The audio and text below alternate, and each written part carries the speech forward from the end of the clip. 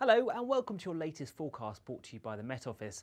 Sunday was the first day of meteorological autumn and right on cue it has been a rather cool feeling day for many places and that will lead to a chilly night to come tonight and for many areas those showers tending to fade away through the night.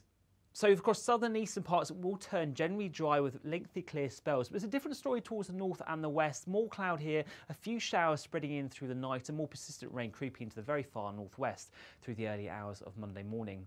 But there will be some clear spells between the showers and that will lead to a rather chilly night like I said. These are temperatures in towns and cities but in more rural spots, particularly across the glens of Scotland, we could see lows of just 3 or 4 degrees.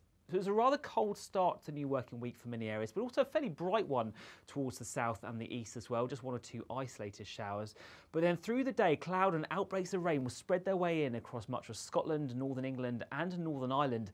Now the heaviest of the rain will always be towards the west of Scotland, with some particularly heavy rain through the afternoon. But towards the east of high ground, particularly across east of Scotland and northeast England, we should hang on to something a bit drier here throughout much of the day. And further towards the south, across the bulk of England and Wales, yes, we will see thick cloud through Monday afternoon, but also it should stay generally dry for much of the day.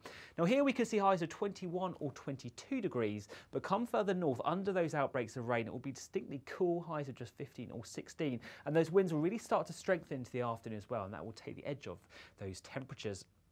So as we head through the rest of Monday into the evening overnight, very little change in the weather really. Always more cloud and outbreaks of rain across many northern and northwestern parts. Come further south, variable amounts of cloud, often staying dry, and it'll be a milder night to come for many places, with temperatures generally in towns and cities staying in double figures.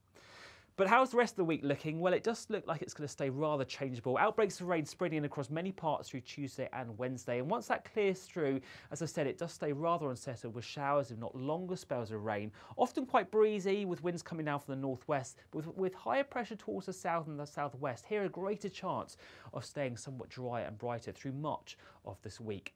So lots going on with the weather. For more information, you can always follow us on social media and I'll see you again soon.